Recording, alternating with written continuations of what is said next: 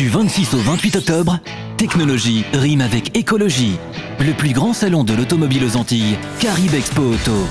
Plus de 60 exposants, des animations pour toute la famille, des tarifs spécial salon. Spécial Expo Auto. Gagnez une Peugeot 208, des voyages et de nombreux autres cadeaux. Carib Expo Auto, du 26 au 28 octobre. Ouverture dès 9h. Entrée gratuite. Carib Expo Auto, un événement OYON automobile parrainé par Didier Auriol, champion du monde des rallyes.